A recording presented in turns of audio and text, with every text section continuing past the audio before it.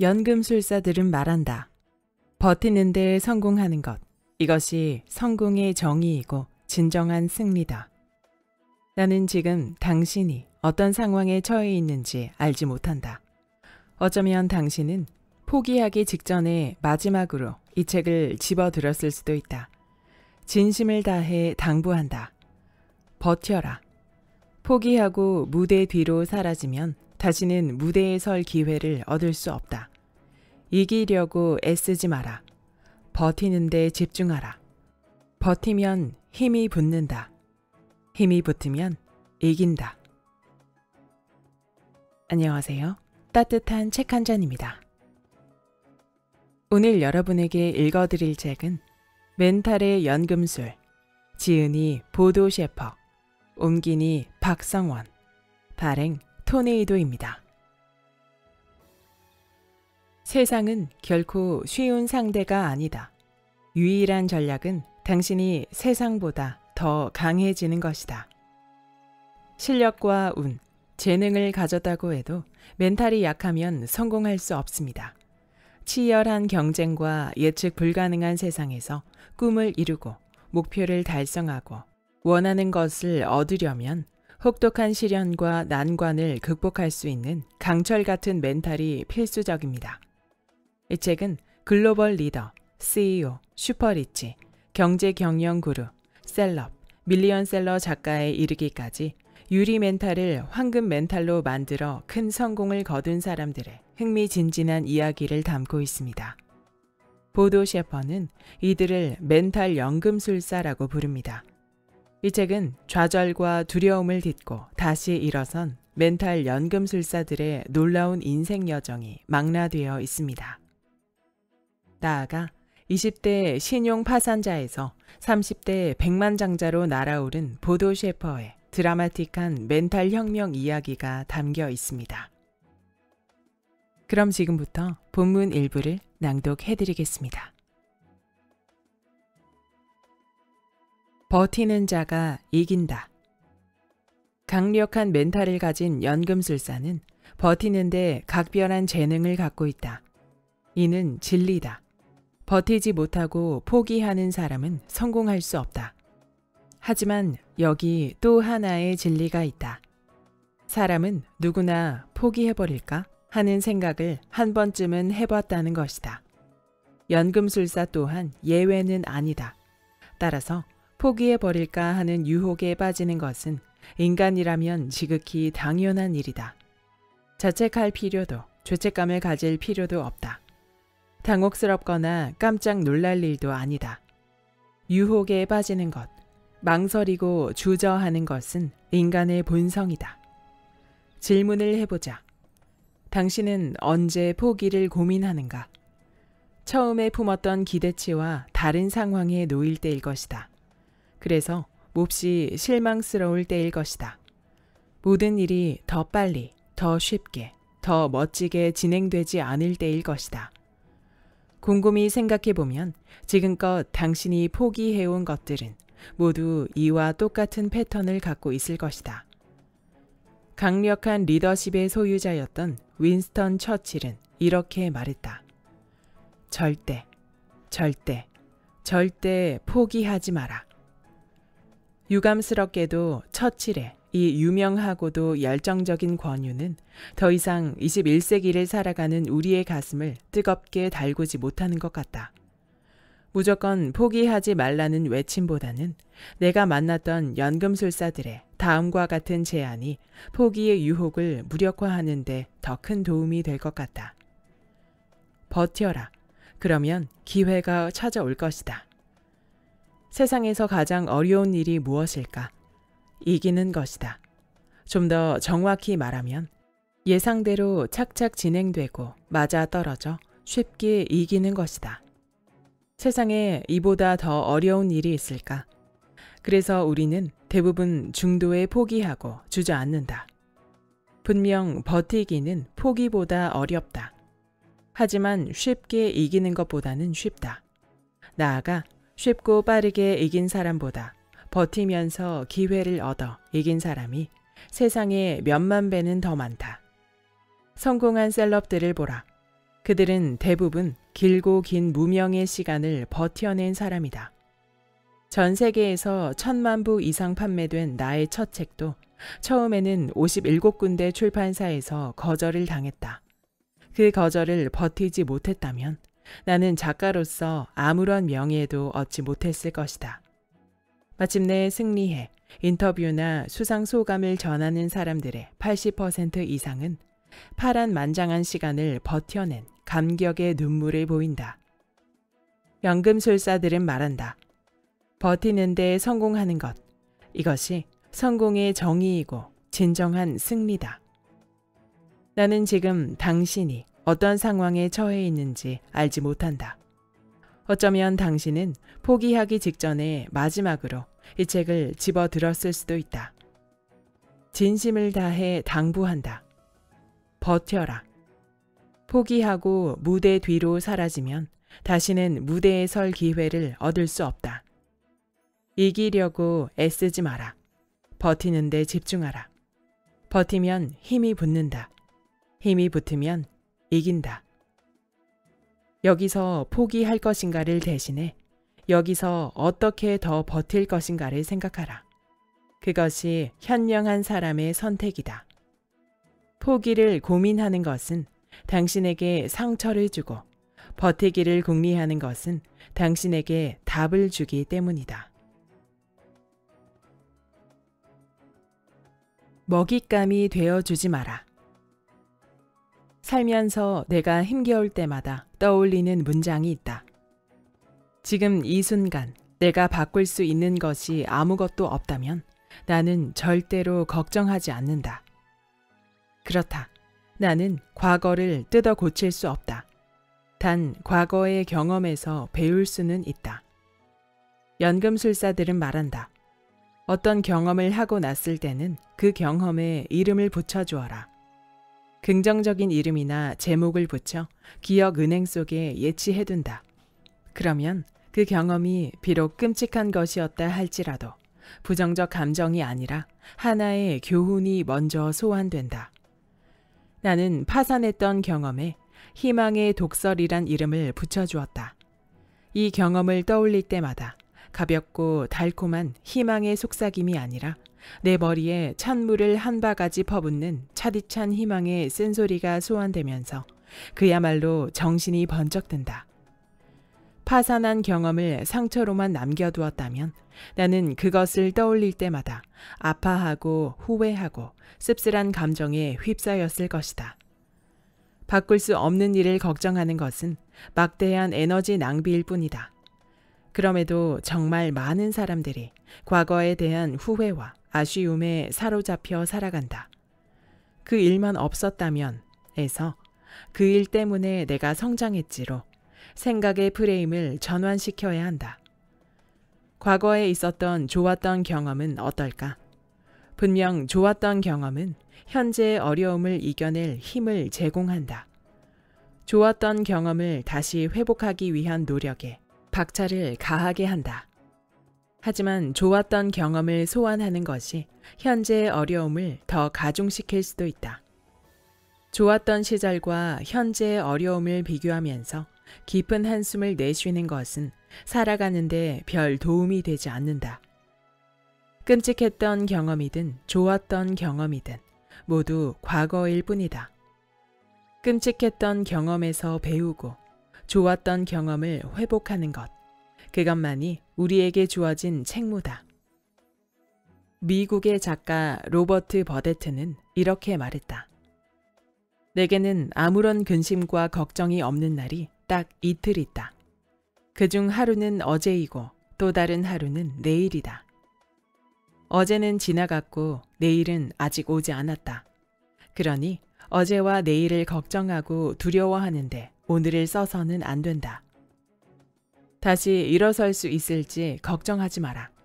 넘어진 사람은 반드시 다시 일어선다. 남들보다 뒤처졌다고 초조해하지 마라. 결승선에 누가 먼저 도착할지는 인간이 알 수 있는 영역이 아니다. 매일 쾌조의 컨디션을 유지하며 한 걸음 한 걸음 달려나가면 충분하다. 걱정과 두려움에 붙들려 침대에 누워 달리는 사람을 물끄러미 바라보는 짓만 하지 않으면 된다. 연금술사들은 말한다. 적당한 두려움은 우리의 삶을 긴박감 넘치게 만든다. 우리를 더 멀리 가게 만드는 연료다. 두려움 때문에 아무것도 하지 않은 삶은 지루하다. 적당한 두려움은 우리의 심장을 뛰게 하고 일상을 팽팽하게 만드는 긴장감을 불어넣는다. 그러니 두려워하지 말고 두려움을 효과적으로 활용하라. 목표에 도달하는데 긍정적인 연료로 사용하라. 사용하지 않는 두려움은 우리를 아무것도 하지 못하도록 만든다. 반면에 적극적으로 사용된 두려움은 우리의 잠재력 발휘에 도움을 준다.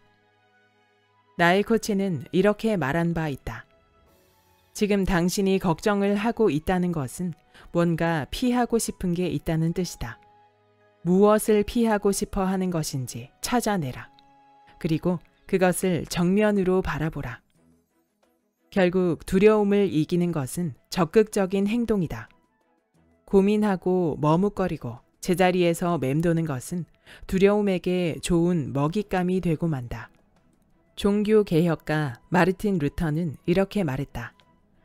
새가 내 머리 위를 날아가는 것은 막을 수 없다.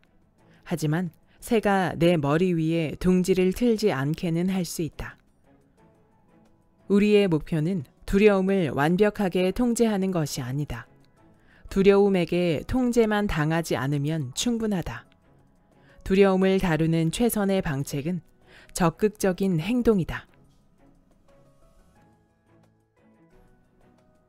누적 효과를 만끽하라. 미국에서 실제 있었던 일이다. 한 70대 할머니가 뉴욕에서 마이애미까지 약 2,000km를 걷는데 성공했다.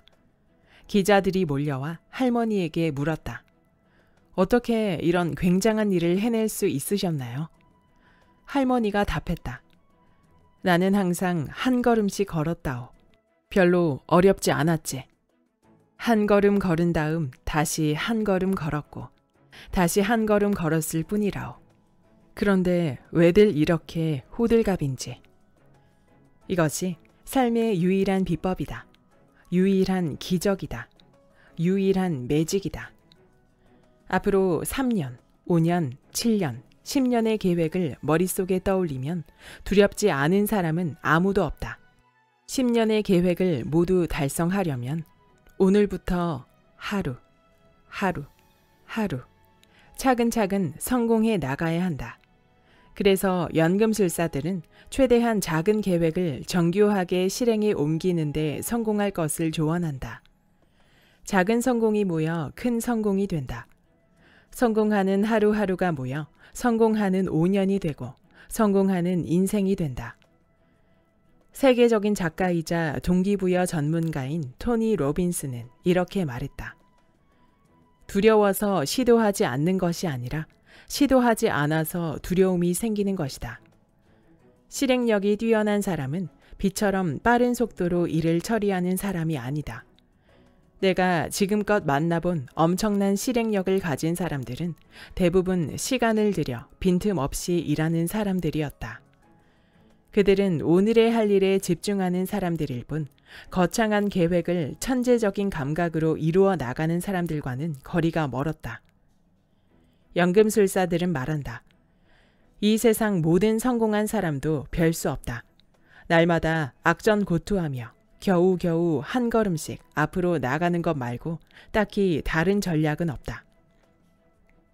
우리는 슈퍼맨은 될 수 없어도 수천 킬로미터를 한 걸음씩 걸어 마이애미에 도착한 할머니는 얼마든지 될 수 있다.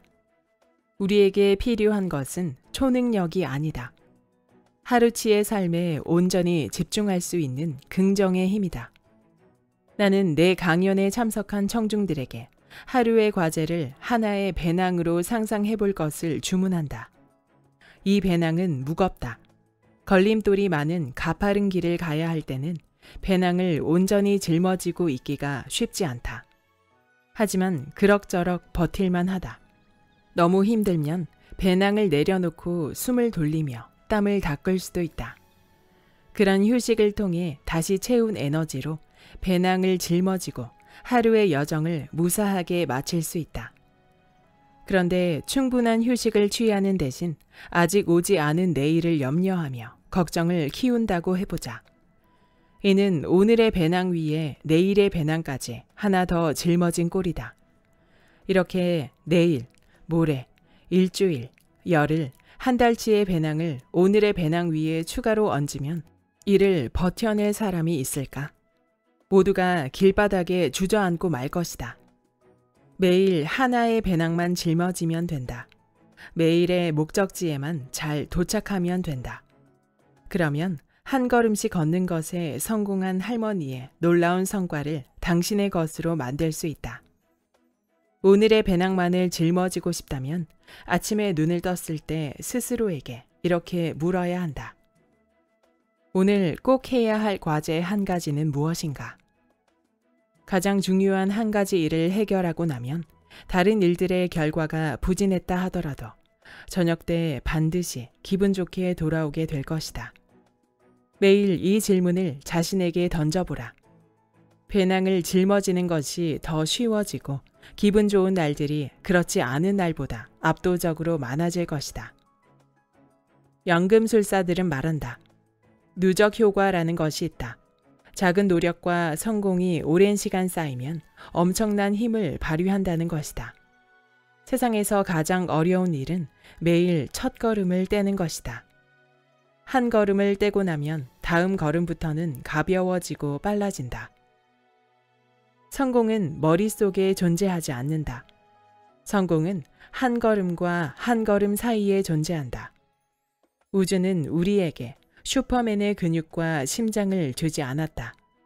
오직 하루의 과제를 해낼 수 있는 만큼의 힘을 주었을 뿐이다. 주어진 힘으로 강철 같은 근육과 탄탄한 심장을 만들어내는 것은 오롯이 우리의 몫이다. 다행인 것은 우리 모두에게 누적 효과를 만끽할 수 있는 가능성이 공평하게 주어졌다는 것이다. 두려움이 그것을 봉인하지 않는 한 언제나 가능성이 당신 삶의 빛과 소금이 되어 줄 것이다. 당신이 찾고 있는 것도 당신을 찾고 있다. 글로벌 금융위기가 한창이던 2008년, 나는 한 고객으로부터 이 위기가 어떤 미래를 가져올지 예측하는 책 한 권을 선물 받았다. 결론은 간명했다. 폭도들이 거리를 누비고 주택가를 약탈할 것이었다. 국가의 법질서 체계가 무너지고 식료품 구하기가 불가능해질 터였다. 위기가 닥칠 때마다 이런 몰락에 관한 예언서들이 어김없이 등장한다. 시간이 흐른 후 다시 들춰보면 웃음밖에 나오지 않는 책들이 공포의 순간에는 많은 사람의 머릿속을 사로잡는다. 당시 나는 아무 생각 없이 비서에게 책을 건네주고는 이렇게 말했다. 유용한 내용이 있는지 한번 검토해 봐 주세요. 며칠 후 비서는 무척 진지한 얼굴로 앞으로 닥쳐올 몇 년의 위기에 대비해 비축해 두어야 할 생필품 리스트를 뽑아왔다. 다양한 종류의 캔 수프, 대용량 밀가루와 쌀, 활과 화살 같은 무기까지 목록에 포함되어 있었다. 비서가 내게 리스트를 보여주는 동안 나는 그를 유심히 살펴보았다. 긴장감이 뚜렷한 그의 얼굴은 행복해 보이지 않았다. 유감스럽게도 그에게 두려움과 걱정을 제공한 사람은 바로 나였다. 그의 두려움을 누그러뜨리기 위해 나는 몇 시간 동안 그와 이야기를 나눠야 했다. 나는 그에게 다음과 같은 조언을 주었다. 성공한 사람들의 말에만 귀 기울이세요. 우리는 공포를 앞세운 목소리에 민감하게 반응한다. 그러지 않으면 모두가 공포에 대비하는데 나만 혼자 천하태평인 것처럼 느껴진다. 그 순간 심장이 뛰고 머릿속이 아득해진다.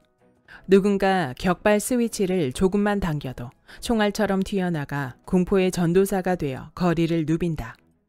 식료품 매장의 진열대가 싹쓸이 당하고 듣도 보도 못한 생존 무기들이 담긴 재난 배낭이 불티나게 팔린다. 종말론자들이 득세하고 비관론자들의 확성기가 열변을 뿜어낸다.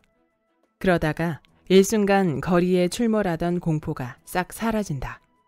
일상이 회복되고 언제 그랬냐는 듯이 사람들은 출근해 일하고 퇴근해 돌아와 가족들과 저녁 식사를 하며 더 나은 미래에 대해 이야기꽃을 피운다. 연금술사들은 말한다. 공포가 창궐할 때는 실패한 사람들이 거리에서 메가폰을 잡고 목소리를 높인다. 그것 봐. 내 말이 맞잖아. 희망 따위를 믿다니. 당신도 나처럼 실패할 거야. 아무도 조언을 구하지 않는데 자신의 말을 들으라고 강요하는 사람은 모두 실패한 사람이다.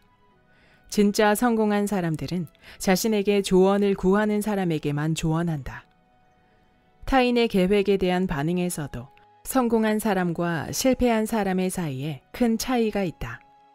성공하지 못한 사람은 타인의 계획을 비웃는 경향이 매우 강하다. 혹여나 그 사람이 자신은 못 이룬 성공을 거둘까 두려워서다. 반면에 성공한 사람들은 타인의 계획을 진지하게 여기고 존중한다. 씁쓸하지만 다음의 사항을 명심하라. 성공 못한 사람들은 결국 실패에 관한 조언만 해줄 수 있다. 그들의 조언은 대부분 하지 마라, 안 된다, 금물이다 등으로 끝난다. 성공한 사람들의 조언은 하라, 잘 될 것이다, 적극적으로 찾아라 등으로 끝맺는다. 그들은 자신의 성공 노하우를 바탕으로 목적지로 가는 길을 직접 제시한다. 나의 코치는 이렇게 말했다. 성공하지 못한 사람들은 자네에게 어떤 충고도 할 권리가 없네. 그리고 이보다 더 중요한 것은 자네가 그들의 조언을 들을 의무가 없다는 것이네. 한 가지는 분명하다. 당신이 지금 이 순간 두려움에 빠져 있다거나 걱정거리가 있다거나 새로운 일을 시작하고 있다거나 심각한 문제에 직면해 있다면 루저들과 대화를 나눌 적절한 시점이 아니다. 그건 당신의 두려움에 기름을 붓는 격이다. 바로 그 순간 당신에게는 성공한 사람들의 목소리가 필요하다. 당신과 똑같은 두려움을 극복한 사람의 노하우가 필요하다. 당신을 밝고 긍정적인 측면으로 이끌어줄 사람이 필요하다. 연금술사들은 말한다. 부정적인 것들은 얻기 쉽다. 늘 당신을 찾아오기 때문이다. 하지만 긍정적인 것들은 얻기가 어렵다. 늘 당신이 찾아가야 하기 때문이다. 당신이 적극적으로 행동해야 할 이유가 여기에 있다. 다행인 것은 당신이 간절하게 찾고 있는 것 또한 간절히 당신을 찾고 있다는 것이다. 스스로를 환대하라. 세계적인 비즈니스 코치 지그 지글러는 자신의 책상 위쪽 벽에 비행기 표를 한 장 붙여 놓았다. 나는 그 비행기 표가 어떤 의미인지 궁금했고 그는 다음과 같은 이야기를 들려주었다. 어느 날 지그 지글러는 비행기 탑승을 위해 공항으로 가던 중 교통체증으로 길 한복판에 갇혀 있었다. 그는 매우 예민해져 있었고 잔뜩 긴장한 상태로 좌절해 있었다. 비행기를 타지 못하면 중요한 강연에 도저히 시간을 맞출 수 없었다. 하지만 어쩔 도리가 없었다. 너무 늦게 공항에 도착했고 비행기는 이미 이륙한 후였다. 그는 공항을 둘러보았다. 막상 비행기를 놓치고 나니까 초조와 분노, 망연자실함이 왠지 천천히 사라지고 오히려 기분이 개운해지는 느낌이었다. 그는 아무 생각 없이 공항 안을 천천히 거닐었다. 평소에는 눈에 띄지 않았던 식당들이 눈에 들어왔다. 오, 맛집들이 꽤 많군. 그는 느긋하게 점심을 먹었다. 맛을 제대로 음미하면서 즐기는 식사가 대체 얼마만인지 몰랐다. 그런 다음 멋진 라운지 소파에 기대어 커피를 마시며 분주히 오가는 사람들을 바라보았다. 문득 사랑하는 가족들이 떠올랐다. 그는 휴대폰으로 가족 한 명한 한 명과 통화를 나눴다. 어떤 특정한 이유 없이 가족들과 대화를 하는 것도 대체 얼마만인지 몰랐다. 지나가는 사람들과 눈이 마주치면 미소를 지으며 인사를 나누었고 멋지게 날아오르는 비행기들을 평화롭게 바라보다가 자리에서 일어났다. 기왕 이렇게 된 것, 집으로 돌아가 따뜻한 목욕을 해야겠다고 생각하니 마음이 절로 즐거워졌다. 공항을 천천히 빠져나가는 그의 눈에 탑승객들을 위해 설치된 TV 모니터에서 흘러나오는 뉴스가 들어왔다. 그가 놓친 비행기가 막 추락했다는 다급한 속보였다. 살아남은 승객은 한 명도 없었다. 지그지글러는 이렇게 말했다. 그 사고 소식을 들은 후로 내 삶은 완전히 바뀌었습니다. 무슨 일이 있어도 흥분하지 말자. 이 문장이 제 인생의 좌우명이 되었죠. 저뿐 아니라 우리 모두는 어떤 일의 처음과 끝을 모두 안다면 무슨 일이 있어도 화를 내지 않을 것입니다. 두려워하거나 좌절하지도 않겠죠. 하지만 우리는 끝을 모릅니다. 하지만 이와 동시에 우리는 우리가 끝을 모른다는 사실은 압니다. 이 사실을 아는 것만으로도 화를 내거나 두려워하거나 좌절하는 것이 얼마나 허망한지를 깨닫게 됩니다. 지그지글러의 말에 감명을 받은 나는 그 후 강연회가 끝날 때마다 이렇게 인사한다. 모쪼록 여러분에게 좋은 일을 하시기 바랍니다. 힘겨울 때는 당신이 좋아하는 일을 하라. 따뜻한 목욕을 하거나 책을 읽거나 좋아하는 음악을 들어라. 잠시 자신을 완전히 다른 세상으로 데려다 주는 좋은 영화를 보라. 생각만 해도 콧노래가 나오는 여행을 계획해보고 하루의 스케줄을 완전히 비워보라. 그러면 알게 된다. 바로 이런 일을 하려고 우리는 그토록 노력한다는 것을. 이런 일을 하려고 그토록 성공하고자 애쓴다는 것을. 이 깨달음이 당신을 놀랍도록 회복시킬 것이다. 어떻게 실패할 것인가? 미래는 예측이 불가능하다. 예측이 불가능할 때는 어떻게 해야 할까?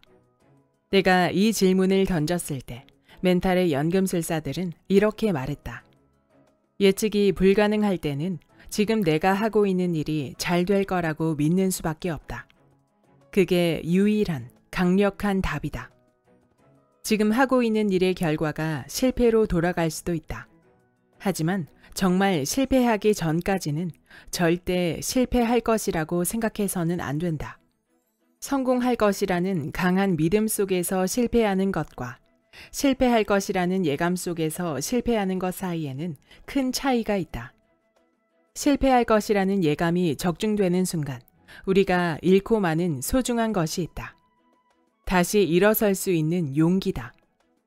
심리학자들의 연구에 따르면 성공에 대한 확고한 믿음 속에서 실패할 경우 우리는 시리에 빠지기보다는 무엇이 잘못됐는지, 무엇을 고쳐야 할지 등등 개선책을 강구하는 태도를 나타낸다. 실패의 예감 속에서 실패하면 우리는 목표를 하향 조정한다. 더 이루기 쉬운 목표에 초점을 맞추면 잠재력을 온전하게 펼칠 수 없다. 성장이 아니라 유지 방안을 강구한다. 하지만 우리 모두가 알다시피 현상 유지는 곧 퇴보를 뜻한다. 그래서 성공하는 사람들은 이렇게 말한다. 실패하더라도 성공 속에서 실패하라. 어떻게 성공할 것인가 라는 질문은 중요하다. 동시에 어떻게 실패할 것인가 라는 질문도 중요하다. 성공과 실패는 인생에서 흔하게 일어나는 평범한 현상이다. 우리가 천착해야 할 것은 방식이다. 성공하는 방식과 실패하는 방식에 대한 충분한 검토와 반성이 있으면 우리는 쉽게 실패하지 않는다. 지금 하고 있는 일이 어떻게 될지 모르겠는가? 괜찮다. 변화의 가능성을 충분히 즐겨라. 어떻게 될지 모르지만 이 일을 통해 분명 성장할 것이라는 믿음만 확고하게 지켜나가라. 지혜로운 부자가 되어라. 좀 더 빨리 성공하고 싶은가? 그렇다면 다음에 불편한 진실을 받아들여야 한다. 20대 시절 나의 코치는 성공하고 싶어 매일 조바심을 내던 내게 이렇게 말했다. 빨리 부자가 되고 싶다면 평범한 사람들보다 더 많은 문제를 떠안아야 하네. 나는 물었다. 어째서 그런가요? 코치가 답했다. 가난한 사람들보다 부유한 사람들이 더 많은 문제를 갖고 있으니까. 미처 내가 생각지 못한 답이었다. 인생의 모든 문제를 경제적 자유가 해결해 줄 것이라고 믿었던 나는 뒤통수를 한 대 얻어맞은 느낌이었다. 코치는 이렇게 덧붙였다. 부자들은 경제적으로 자유로운 상태에 놓여 있는 사람들이지. 그래서 부자가 되었다는 것은 이제 돈으로 해결할 수 없는 문제들에 대한 답을 얻어야 한다는 것이야. 그건 무척이나 어려운 일들이지. 그렇다. 아직 가난하고 평범한 사람들은 돈만 있으면 명쾌한 답을 얻을 수 있는 문제들을 고민하는데 대부분의 시간을 보낸다. 하지만 인생은 거기서 끝나지 않는다. 돈을 얻게 되면 돈으로 해결할 수 없는 문제들이 다시 우리를 기다린다. 부자는 돈만 많은 사람이 아니다. 경제적 자유와 함께 해박한 지식, 풍부한 경험, 연륜과 통찰을 두루 갖춰야 진정한 부자가 될 수 있다. 그런데 정작 우리는 어떻게 생각하는가? 먼저 돈을 벌자. 그 다음 일은 그 다음에 생각해도 충분해. 이는 잘못된 생각이다. 돈을 벌면서 지식과 경험도 쌓고 통찰력도 갖춰야 한다. 이 모든 일이 순차적이 아니라 동시다발적으로 일어나야 한다. 그래야만 경제적인 자유를 얻어야 할 진정한 이유를 깨닫게 되고 돈으로 해결할 수 없는 문제들에 대한 지혜로운 답을 찾을 수 있다. 연금술사들은 말한다. 돈 많은 부자가 아니라 지혜로운 부자가 되어야 한다. 돈은 우리 삶의 최종 목적지가 아니다. 돈은 우리 삶의 출발선이다. 가장 빨리 돈을 버는 사람은 가장 빨리 출발선에 설 수 있다. 하지만 그 다음 펼쳐질 레이스에 대한 경험과 지식이 전무하다면 그가 결승선을 통과할 확률은 매우 낮아진다. 지금 당장은 경제적으로 곤궁한 삶을 살고 있다 할지라도 우리는 부자처럼 생각하고 부자처럼 행동해야 한다. 식탁에 앉아 밥을 먹을 때도 부자들이 해결해야 할 수많은 문제들의 목록이 무엇일지 떠올려 보아야 한다. 돈도 없는데 무슨 허세람 하면서 움츠러들어서는 안 된다. 타인의 시선 따위도 전혀 신경 쓸 필요 없다. 당신은 아직 돈만 없는 부자다. 그리고 장담하건대 돈은 해결하기 가장 쉬운 문제임을 언젠가 반드시 깨달을 날이 올 것이다. 돈 많은 부자가 되는 것은 시간이 해결해 준다. 돈 많은 부자가 되는 것은 시간이 해결해 준다. 지혜로운 부자가 되는 것은 오직 당신이 해결해야 할 일이다.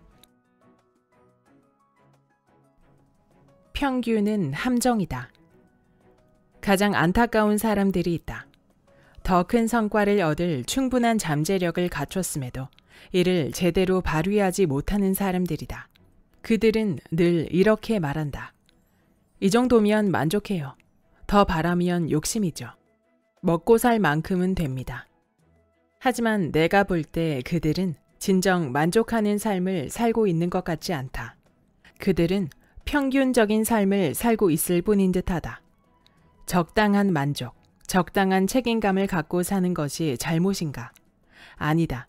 잘못일 리 없다. 다만 위험할 뿐이다. 무엇이 위험하다는 말인가? 연금술사들은 말한다. 평균적인 삶은 환상에 가깝다. 평균은 도전이 아니라 합의의 먹이를 준다. 도전하는 삶이 아닌 거래하는 삶은 우상향 곡선을 그리지 못한다. 무엇을 원하든 간에 그보다 못한 결과와 타협하게 될 것이다. 평균적인 삶은 계속해서 합의할 대상, 비교할 대상을 찾는다. 평균적인 삶의 목표는 자기 주도적인 삶이 아니라 타인보다 나은 삶이다. 평균적인 삶을 살겠다는 것은 마이너스 성장을 하겠다는 선언이다. 조금씩 조금씩 하향 곡선을 그려도 가난한 자와 부자의 중간쯤에만 위치하면 만족하겠다는 자포자기다. 가난한 상태는 싫지만 부자가 되면 책임질 많은 문제들도 떠안기 싫다는 비겁한 입장 표명이다.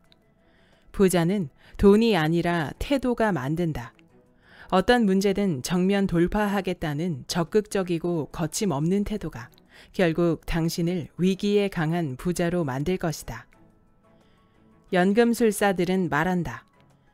문제를 이리저리 피해 다니며 쉽게 돈을 번 사람은 오랫동안 부자로 살지 못한다. 부자는 전 먹던 힘을 다해 어려움을 극복하고 돈을 번 사람이다. 평균적인 삶은 흑자 도산과 같다. 이곳저곳에서 성과를 내는데도 불구하고 결국 파산의 길을 걷는다. 우하향하는 삶의 종착지는 제로다. 문제는 피한다고 해서 피해지는 것이 아니다. 피해 다닐수록 더 큰 문제들이 그림자처럼 영원히 따라다닌다. 하나를 해결하고 또 하나를 해결하고 또 하나를 해결해야 한다. 피하지 않고 차근차근 해결하고자 하면 그 해결에도 힘이 붙어 점점 쉬워진다. 장담한다. 당신은 절대 당신의 문제에서 벗어날 수 없다.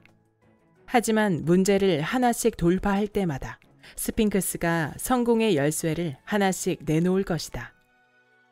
부자의 삶의 반대말은 빈자의 삶이 아니다. 도망자의 삶이다.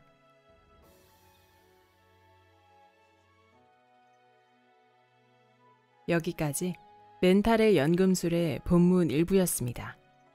이 책은 세계적인 머니 코치이자 경영 컨설턴트인 보도 섀퍼가 2020년에 내놓은 책입니다.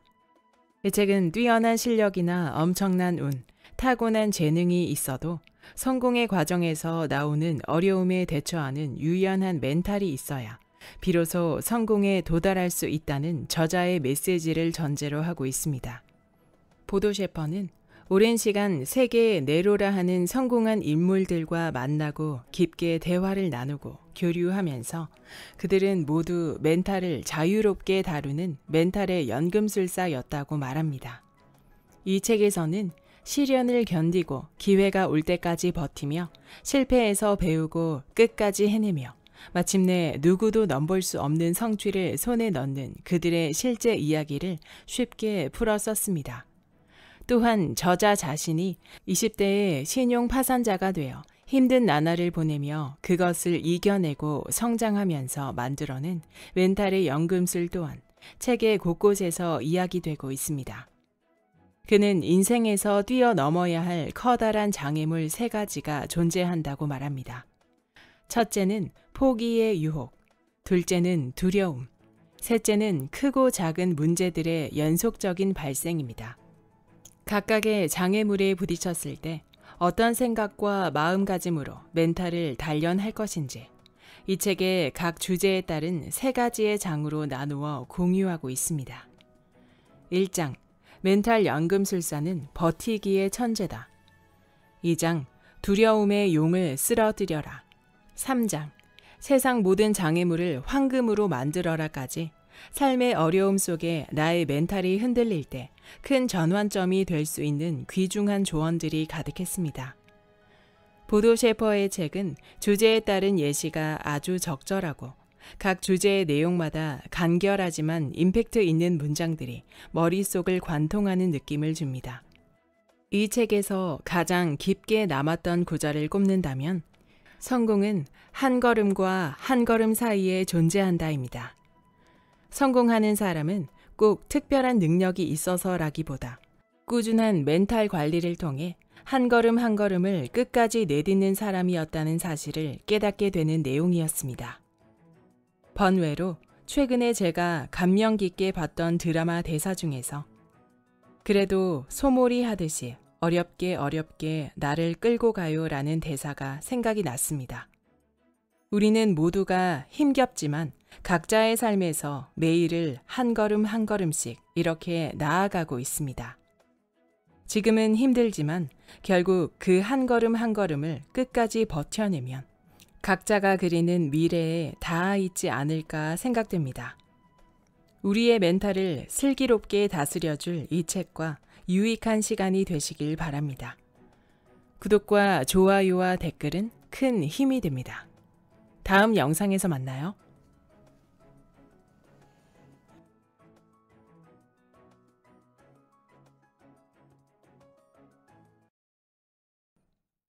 버티는 자가 이긴다. 강력한 멘탈을 가진 연금술사는 버티는데 각별한 재능을 갖고 있다. 이는 진리다. 버티지 못하고 포기하는 사람은 성공할 수 없다. 하지만 여기 또 하나의 진리가 있다. 사람은 누구나 포기해버릴까 하는 생각을 한 번쯤은 해봤다는 것이다. 연금술사 또한 예외는 아니다.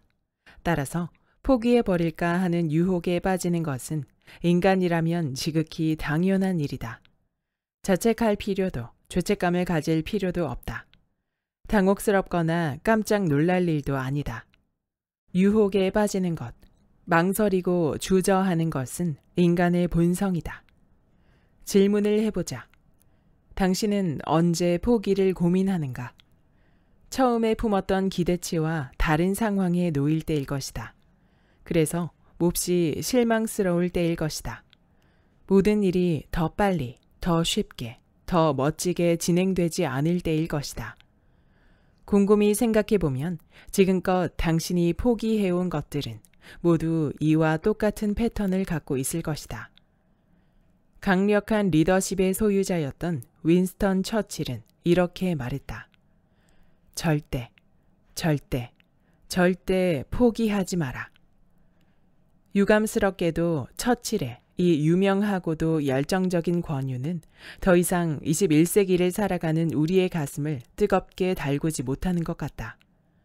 무조건 포기하지 말라는 외침보다는 내가 만났던 연금술사들의 다음과 같은 제안이 포기의 유혹을 무력화하는 데 더 큰 도움이 될 것 같다. 버텨라. 그러면 기회가 찾아올 것이다. 세상에서 가장 어려운 일이 무엇일까? 이기는 것이다. 좀 더 정확히 말하면 예상대로 착착 진행되고 맞아 떨어져 쉽게 이기는 것이다. 세상에 이보다 더 어려운 일이 있을까? 그래서 우리는 대부분 중도에 포기하고 주저앉는다. 분명 버티기는 포기보다 어렵다. 하지만 쉽게 이기는 것보다는 쉽다. 나아가 쉽고 빠르게 이긴 사람보다 버티면서 기회를 얻어 이긴 사람이 세상에 몇만 배는 더 많다. 성공한 셀럽들을 보라. 그들은 대부분 길고 긴 무명의 시간을 버텨낸 사람이다. 전 세계에서 천만 부 이상 판매된 나의 첫 책도 처음에는 57군데 출판사에서 거절을 당했다. 그 거절을 버티지 못했다면 나는 작가로서 아무런 명예도 얻지 못했을 것이다. 마침내 승리해 인터뷰나 수상 소감을 전하는 사람들의 80% 이상은 파란 만장한 시간을 버텨낸 감격의 눈물을 보인다. 연금술사들은 말한다. 버티는 데 성공하는 것. 이것이 성공의 정의이고 진정한 승리다. 나는 지금 당신이 어떤 상황에 처해 있는지 알지 못한다. 어쩌면 당신은 포기하기 직전에 마지막으로 이 책을 집어 들었을 수도 있다. 진심을 다해 당부한다. 버텨라. 포기하고 무대 뒤로 사라지면 다시는 무대에 설 기회를 얻을 수 없다. 이기려고 애쓰지 마라. 버티는 데 집중하라. 버티면 힘이 붙는다. 힘이 붙으면 이긴다. 여기서 포기할 것인가를 대신해 여기서 어떻게 더 버틸 것인가를 생각하라. 그것이 현명한 사람의 선택이다. 포기를 고민하는 것은 당신에게 상처를 주고 버티기를 궁리하는 것은 당신에게 답을 주기 때문이다. 먹잇감이 되어주지 마라. 살면서 내가 힘겨울 때마다 떠올리는 문장이 있다. 지금 이 순간 내가 바꿀 수 있는 것이 아무것도 없다면 나는 절대로 걱정하지 않는다. 그렇다. 나는 과거를 뜯어 고칠 수 없다. 단 과거의 경험에서 배울 수는 있다. 연금술사들은 말한다. 어떤 경험을 하고 났을 때는 그 경험에 이름을 붙여주어라. 긍정적인 이름이나 제목을 붙여 기억 은행 속에 예치해둔다. 그러면 그 경험이 비록 끔찍한 것이었다 할지라도 부정적 감정이 아니라 하나의 교훈이 먼저 소환된다. 나는 파산했던 경험에 희망의 독설이란 이름을 붙여주었다. 이 경험을 떠올릴 때마다 가볍고 달콤한 희망의 속삭임이 아니라 내 머리에 찬물을 한 바가지 퍼붓는 차디찬 희망의 쓴소리가 소환되면서 그야말로 정신이 번쩍 든다. 파산한 경험을 상처로만 남겨두었다면 나는 그것을 떠올릴 때마다 아파하고 후회하고 씁쓸한 감정에 휩싸였을 것이다. 바꿀 수 없는 일을 걱정하는 것은 막대한 에너지 낭비일 뿐이다. 그럼에도 정말 많은 사람들이 과거에 대한 후회와 아쉬움에 사로잡혀 살아간다. 그 일만 없었다면 에서 그 일 때문에 내가 성장했지로 생각의 프레임을 전환시켜야 한다. 과거에 있었던 좋았던 경험은 어떨까? 분명 좋았던 경험은 현재의 어려움을 이겨낼 힘을 제공한다. 좋았던 경험을 다시 회복하기 위한 노력에 박차를 가하게 한다. 하지만 좋았던 경험을 소환하는 것이 현재의 어려움을 더 가중시킬 수도 있다. 좋았던 시절과 현재의 어려움을 비교하면서 깊은 한숨을 내쉬는 것은 살아가는데 별 도움이 되지 않는다. 끔찍했던 경험이든 좋았던 경험이든 모두 과거일 뿐이다. 끔찍했던 경험에서 배우고 좋았던 경험을 회복하는 것. 그것만이 우리에게 주어진 책무다. 미국의 작가 로버트 버데트는 이렇게 말했다. 내게는 아무런 근심과 걱정이 없는 날이 딱 이틀 있다. 그 중 하루는 어제이고 또 다른 하루는 내일이다. 어제는 지나갔고 내일은 아직 오지 않았다. 그러니 어제와 내일을 걱정하고 두려워하는데 오늘을 써서는 안 된다. 다시 일어설 수 있을지 걱정하지 마라. 넘어진 사람은 반드시 다시 일어선다. 남들보다 뒤처졌다고 초조해하지 마라. 결승선에 누가 먼저 도착할지는 인간이 알 수 있는 영역이 아니다. 매일 쾌조의 컨디션을 유지하며 한 걸음 한 걸음 달려나가면 충분하다. 걱정과 두려움에 붙들려 침대에 누워 달리는 사람을 물끄러미 바라보는 짓만 하지 않으면 된다. 연금술사들은 말한다. 적당한 두려움은 우리의 삶을 긴박감 넘치게 만든다. 우리를 더 멀리 가게 만드는 연료다. 두려움 때문에 아무것도 하지 않은 삶은 지루하다. 적당한 두려움은 우리의 심장을 뛰게 하고 일상을 팽팽하게 만드는 긴장감을 불어넣는다. 그러니 두려워하지 말고 두려움을 효과적으로 활용하라. 목표에 도달하는데 긍정적인 연료로 사용하라. 사용하지 않는 두려움은 우리를 아무것도 하지 못하도록 만든다. 반면에 적극적으로 사용된 두려움은 우리의 잠재력 발휘에 도움을 준다. 나의 코치는 이렇게 말한 바 있다. 지금 당신이 걱정을 하고 있다는 것은 뭔가 피하고 싶은 게 있다는 뜻이다. 무엇을 피하고 싶어 하는 것인지 찾아내라. 그리고 그것을 정면으로 바라보라. 결국 두려움을 이기는 것은 적극적인 행동이다. 고민하고 머뭇거리고 제자리에서 맴도는 것은 두려움에게 좋은 먹잇감이 되고 만다.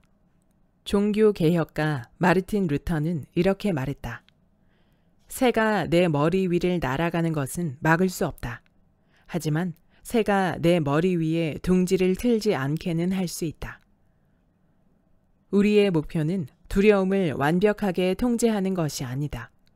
두려움에게 통제만 당하지 않으면 충분하다. 두려움을 다루는 최선의 방책은 적극적인 행동이다. 누적 효과를 만끽하라. 미국에서 실제 있었던 일이다. 한 70대 할머니가 뉴욕에서 마이애미까지 약 2,000km를 걷는데 성공했다. 기자들이 몰려와 할머니에게 물었다. 어떻게 이런 굉장한 일을 해낼 수 있으셨나요? 할머니가 답했다. 나는 항상 한 걸음씩 걸었다오. 별로 어렵지 않았지.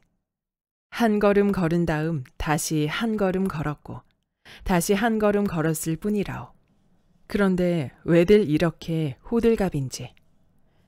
이것이 삶의 유일한 비법이다. 유일한 기적이다. 유일한 매직이다.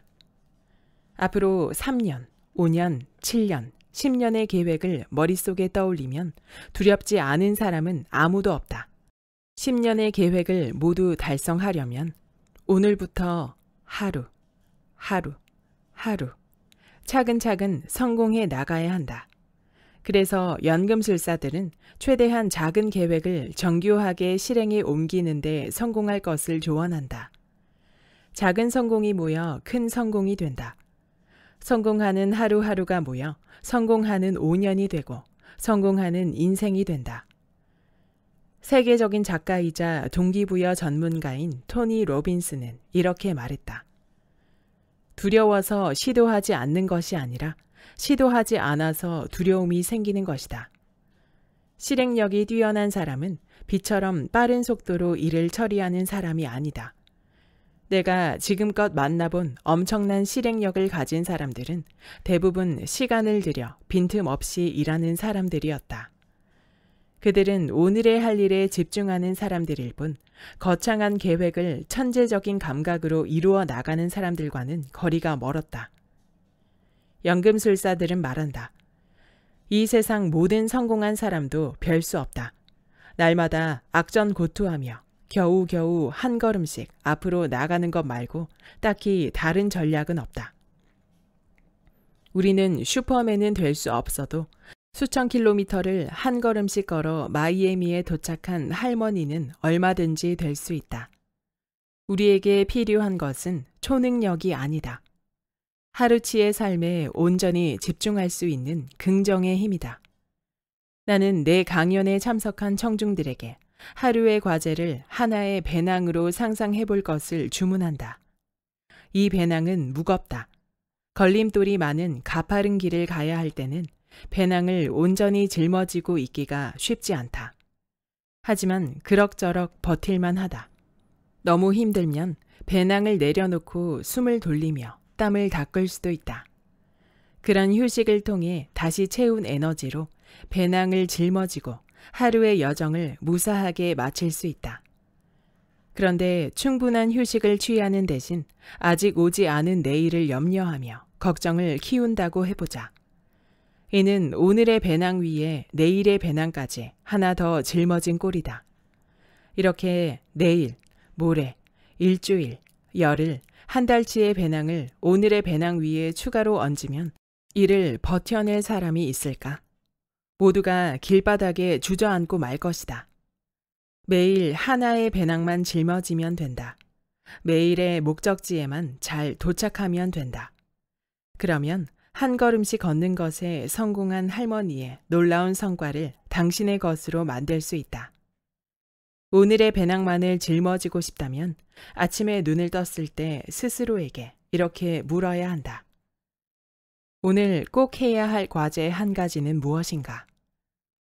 가장 중요한 한 가지 일을 해결하고 나면 다른 일들의 결과가 부진했다 하더라도 저녁 때 반드시 기분 좋게 돌아오게 될 것이다. 매일 이 질문을 자신에게 던져보라. 배낭을 짊어지는 것이 더 쉬워지고 기분 좋은 날들이 그렇지 않은 날보다 압도적으로 많아질 것이다. 연금술사들은 말한다. 누적 효과라는 것이 있다.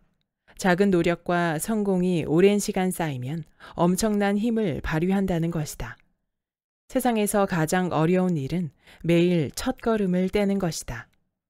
한 걸음을 떼고 나면 다음 걸음부터는 가벼워지고 빨라진다. 성공은 머릿속에 존재하지 않는다. 성공은 한 걸음과 한 걸음 사이에 존재한다. 우주는 우리에게 슈퍼맨의 근육과 심장을 주지 않았다. 오직 하루의 과제를 해낼 수 있는 만큼의 힘을 주었을 뿐이다. 주어진 힘으로 강철 같은 근육과 탄탄한 심장을 만들어내는 것은 오롯이 우리의 몫이다. 다행인 것은 우리 모두에게 누적 효과를 만끽할 수 있는 가능성이 공평하게 주어졌다는 것이다. 두려움이 그것을 봉인하지 않는 한 언제나 가능성이 당신 삶의 빛과 소금이 되어 줄 것이다. 당신이 찾고 있는 것도 당신을 찾고 있다.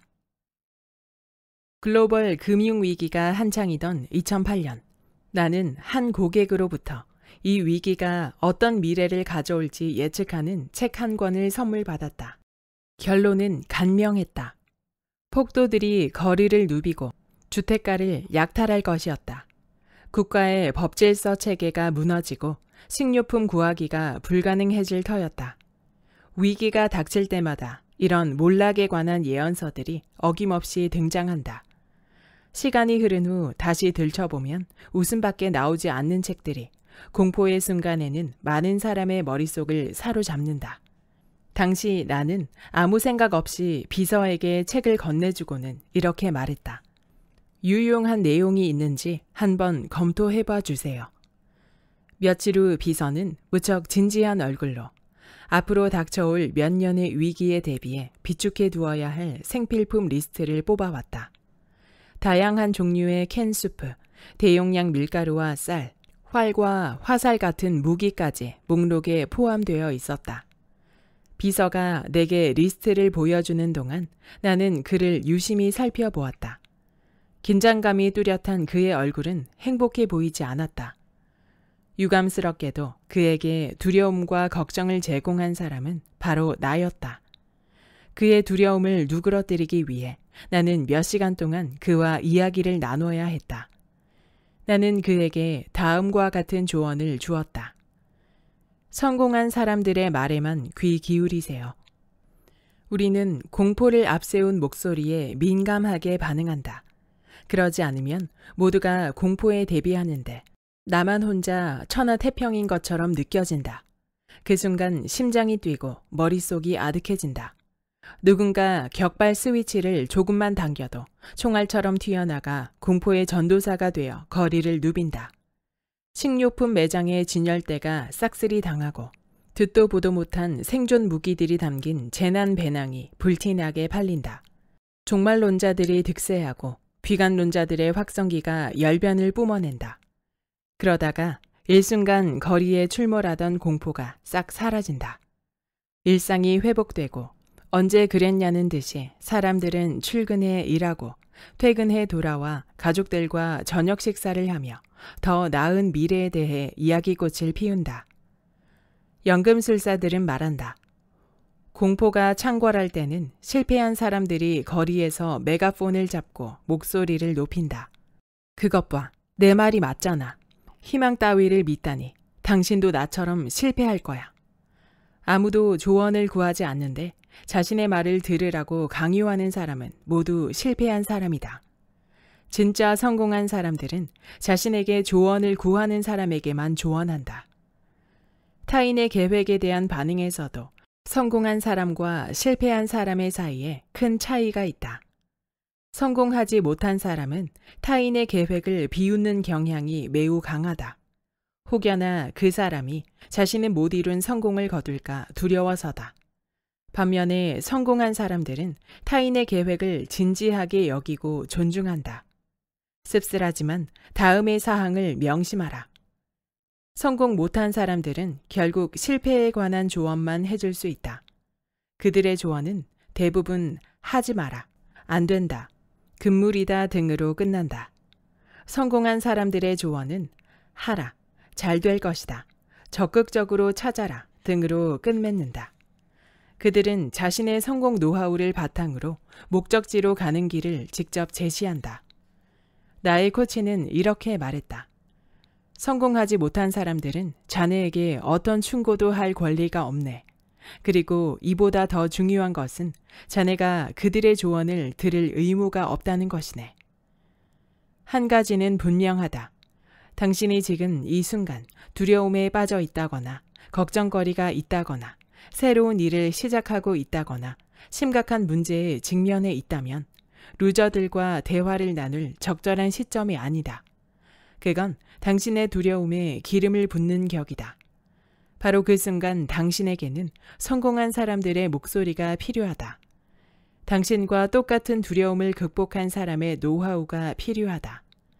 당신을 밝고 긍정적인 측면으로 이끌어줄 사람이 필요하다. 연금술사들은 말한다. 부정적인 것들은 얻기 쉽다. 늘 당신을 찾아오기 때문이다. 하지만 긍정적인 것들은 얻기가 어렵다. 늘 당신이 찾아가야 하기 때문이다. 당신이 적극적으로 행동해야 할 이유가 여기에 있다.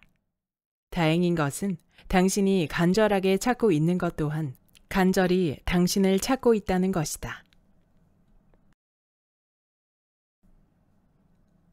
스스로를 환대하라. 세계적인 비즈니스 코치 지그 지글러는 자신의 책상 위쪽 벽에 비행기 표를 한 장 붙여 놓았다. 나는 그 비행기 표가 어떤 의미인지 궁금했고 그는 다음과 같은 이야기를 들려주었다. 어느 날 지그 지글러는 비행기 탑승을 위해 공항으로 가던 중 교통체증으로 길 한복판에 갇혀 있었다.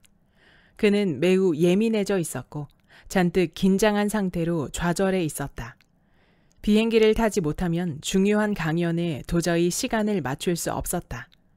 하지만 어쩔 도리가 없었다. 너무 늦게 공항에 도착했고 비행기는 이미 이륙한 후였다. 그는 공항을 둘러보았다. 막상 비행기를 놓치고 나니까 초조와 분노, 망연자실함이 왠지 천천히 사라지고 오히려 기분이 개운해지는 느낌이었다. 그는 아무 생각 없이 공항 안을 천천히 거닐었다. 평소에는 눈에 띄지 않았던 식당들이 눈에 들어왔다.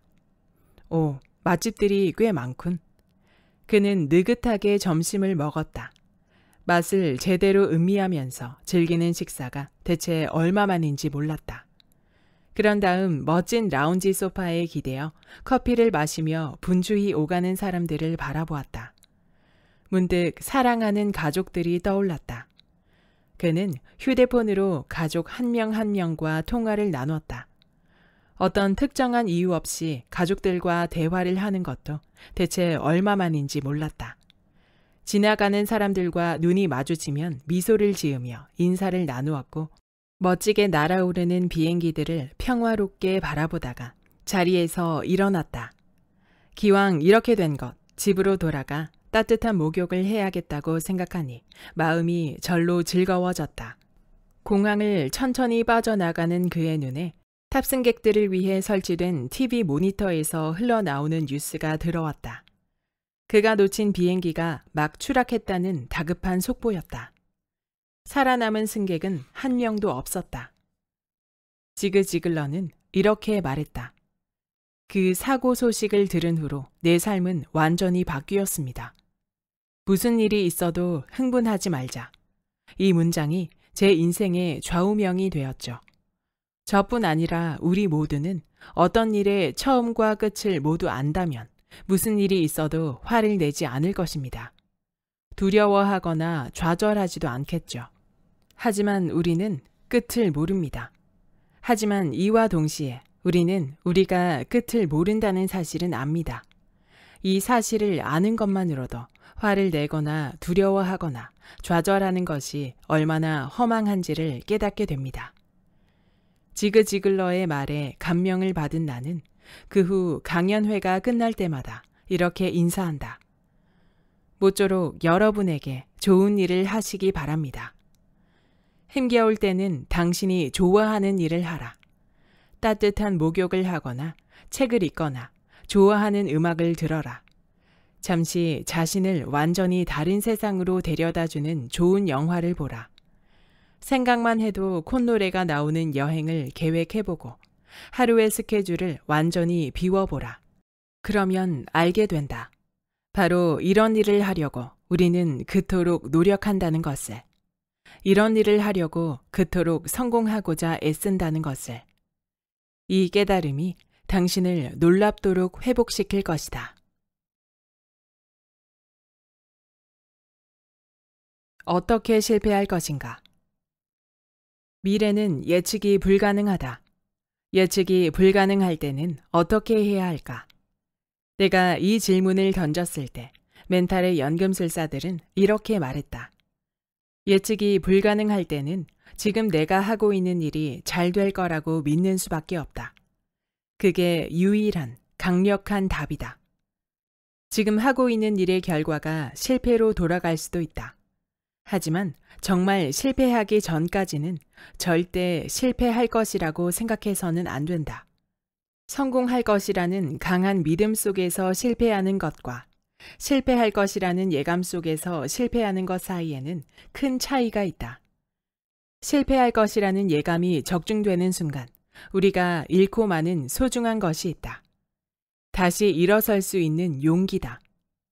심리학자들의 연구에 따르면 성공에 대한 확고한 믿음 속에서 실패할 경우 우리는 시리에 빠지기보다는 무엇이 잘못됐는지, 무엇을 고쳐야 할지 등등 개선책을 강구하는 태도를 나타낸다. 실패의 예감 속에서 실패하면 우리는 목표를 하향 조정한다. 더 이루기 쉬운 목표에 초점을 맞추면 잠재력을 온전하게 펼칠 수 없다. 성장이 아니라 유지 방안을 강구한다. 하지만 우리 모두가 알다시피 현상 유지는 곧 퇴보를 뜻한다. 그래서 성공하는 사람들은 이렇게 말한다. 실패하더라도 성공 속에서 실패하라. 어떻게 성공할 것인가 라는 질문은 중요하다. 동시에 어떻게 실패할 것인가 라는 질문도 중요하다. 성공과 실패는 인생에서 흔하게 일어나는 평범한 현상이다. 우리가 천착해야 할 것은 방식이다. 성공하는 방식과 실패하는 방식에 대한 충분한 검토와 반성이 있으면 우리는 쉽게 실패하지 않는다. 지금 하고 있는 일이 어떻게 될지 모르겠는가? 괜찮다. 변화의 가능성을 충분히 즐겨라. 어떻게 될지 모르지만 이 일을 통해 분명 성장할 것이라는 믿음만 확고하게 지켜나가라. 지혜로운 부자가 되어라. 좀 더 빨리 성공하고 싶은가? 그렇다면 다음에 불편한 진실을 받아들여야 한다. 20대 시절 나의 코치는 성공하고 싶어 매일 조바심을 내던 내게 이렇게 말했다. 빨리 부자가 되고 싶다면 평범한 사람들보다 더 많은 문제를 떠안아야 하네. 나는 물었다. 어째서 그런가요? 코치가 답했다. 가난한 사람들보다 부유한 사람들이 더 많은 문제를 갖고 있으니까. 미처 내가 생각지 못한 답이었다. 인생의 모든 문제를 경제적 자유가 해결해 줄 것이라고 믿었던 나는 뒤통수를 한 대 얻어맞은 느낌이었다. 코치는 이렇게 덧붙였다. 부자들은 경제적으로 자유로운 상태에 놓여 있는 사람들이지. 그래서 부자가 되었다는 것은 이제 돈으로 해결할 수 없는 문제들에 대한 답을 얻어야 한다는 것이야. 그건 무척이나 어려운 일들이지. 그렇다. 아직 가난하고 평범한 사람들은 돈만 있으면 명쾌한 답을 얻을 수 있는 문제들을 고민하는데 대부분의 시간을 보낸다. 하지만 인생은 거기서 끝나지 않는다. 돈을 얻게 되면 돈으로 해결할 수 없는 문제들이 다시 우리를 기다린다. 부자는 돈만 많은 사람이 아니다. 경제적 자유와 함께 해박한 지식, 풍부한 경험, 연륜과 통찰을 두루 갖춰야 진정한 부자가 될 수 있다. 그런데 정작 우리는 어떻게 생각하는가? 먼저 돈을 벌자. 그 다음 일은 그 다음에 생각해도 충분해. 이는 잘못된 생각이다. 돈을 벌면서 지식과 경험도 쌓고 통찰력도 갖춰야 한다. 이 모든 일이 순차적이 아니라 동시다발적으로 일어나야 한다. 그래야만 경제적인 자유를 얻어야 할 진정한 이유를 깨닫게 되고 돈으로 해결할 수 없는 문제들에 대한 지혜로운 답을 찾을 수 있다. 연금술사들은 말한다. 돈 많은 부자가 아니라 지혜로운 부자가 되어야 한다. 돈은 우리 삶의 최종 목적지가 아니다. 돈은 우리 삶의 출발선이다.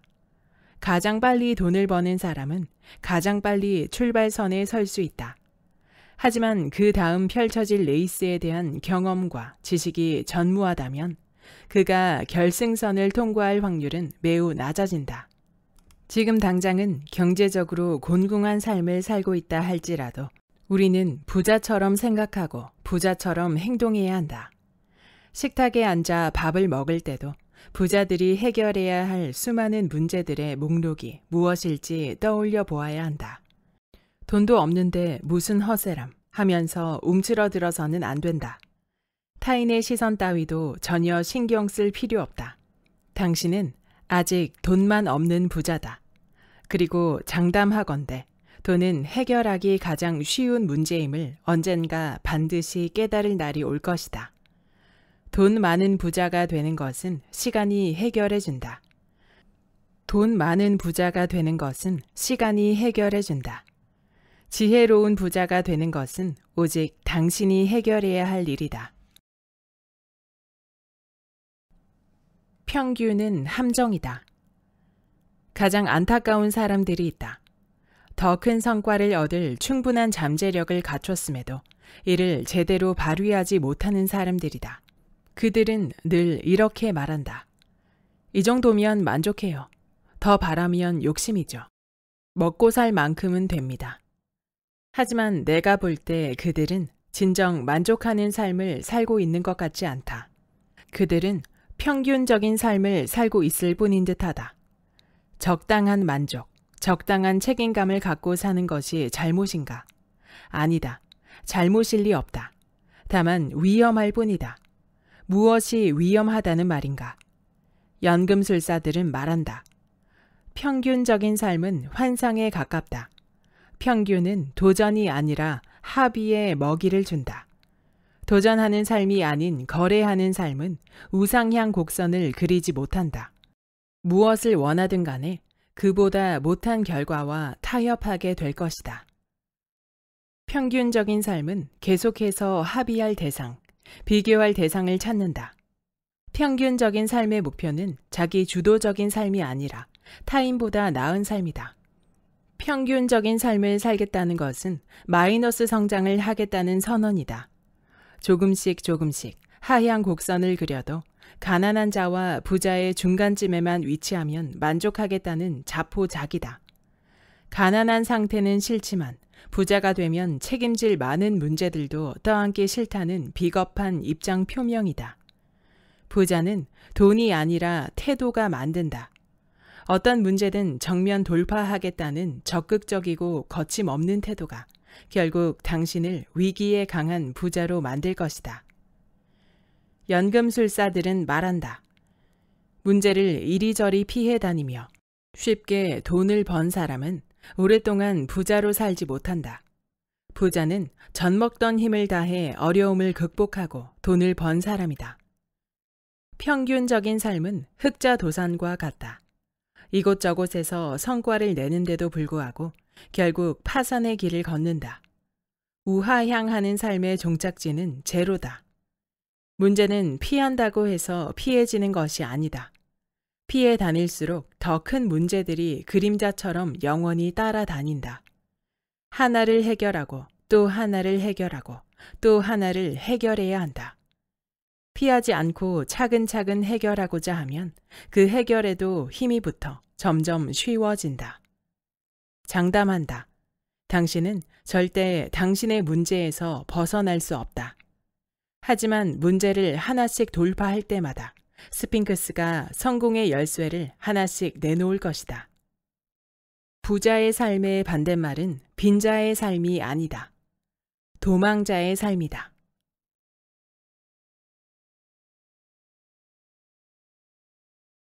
여기까지 멘탈의 연금술의 본문 일부였습니다. 이 책은 세계적인 머니 코치이자 경영 컨설턴트인 보도 섀퍼가 2020년에 내놓은 책입니다. 이 책은 뛰어난 실력이나 엄청난 운, 타고난 재능이 있어도 성공의 과정에서 나오는 어려움에 대처하는 유연한 멘탈이 있어야 비로소 성공에 도달할 수 있다는 저자의 메시지를 전제로 하고 있습니다. 보도 셰퍼는 오랜 시간 세계 네로라 하는 성공한 인물들과 만나고 깊게 대화를 나누고 교류하면서 그들은 모두 멘탈을 자유롭게 다루는 멘탈의 연금술사였다고 말합니다. 이 책에서는 시련을 견디고 기회가 올 때까지 버티며 실패해서 배우고 끝까지 해내며 마침내 누구도 넘볼 수 없는 성취를 손에 넣는 그들의 실제 이야기를 쉽게 풀어 썼습니다. 또한 저자 자신이 20대의 신용 파산자가 되어 힘든 나날을 보내며 그것을 이겨내고 성장하면서 만들어낸 멘탈의 연금술 또한 책의 곳곳에서 이야기되고 있습니다. 그는 인생에서 뛰어넘어야 할 커다란 장애물 세 가지가 존재한다고 말합니다. 첫째는 포기의 유혹, 둘째는 두려움, 셋째는 크고 작은 문제들의 연속적인 발생입니다. 각각의 장애물에 부딪혔을 때 어떤 생각과 마음가짐으로 멘탈을 단련할 것인지 이 책의 각 주제에 따른 세 가지의 장으로 나누어 공유하고 있습니다. 1장 멘탈 연금술사는 버티기의 천재다. 2장 두려움의 용을 쓸어들여라. 3장 세상 모든 장애물을 황금으로 만들어라까지 삶의 어려움 속에 나의 멘탈이 흔들릴 때 큰 전환점이 될 수 있는 귀중한 조언들이 가득했습니다. 보도 셰퍼의 책은 주제에 따른 예시가 아주 적절하고 각 주제의 내용마다 간결하지만 임팩트 있는 문장들이 머릿속을 관통하는 느낌을 줍니다. 이 책에서 가장 깊게 남았던 구절을 꼽는다면 성공은 한 걸음과 한 걸음 사이에 존재한다입니다.